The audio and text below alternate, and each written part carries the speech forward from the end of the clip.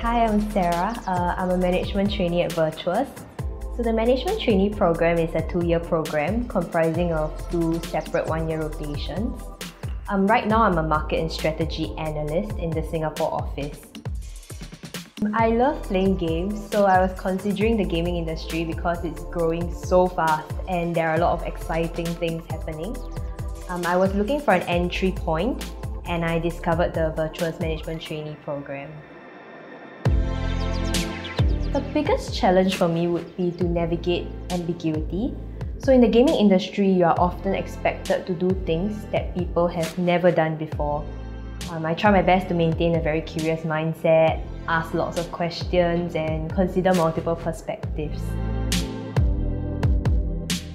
Well, my favorite thing about Virtuos would be the people. Right, so I'm working on a very cross-functional project and I need help from many different teams. And I've never felt hesitant approaching anyone in the group because people are so nice, they're so down to earth and very, very willing to help. So I think there's a common understanding of trying to help one another succeed at Virtuos and I find this very encouraging. So I think Virtuos provides equal opportunity to everyone. Regardless of your gender or seniority, you'll be trusted with an impactful project and your opinion is valued. Um, as for excellence, um, excellence is important because the video games industry is changing so fast.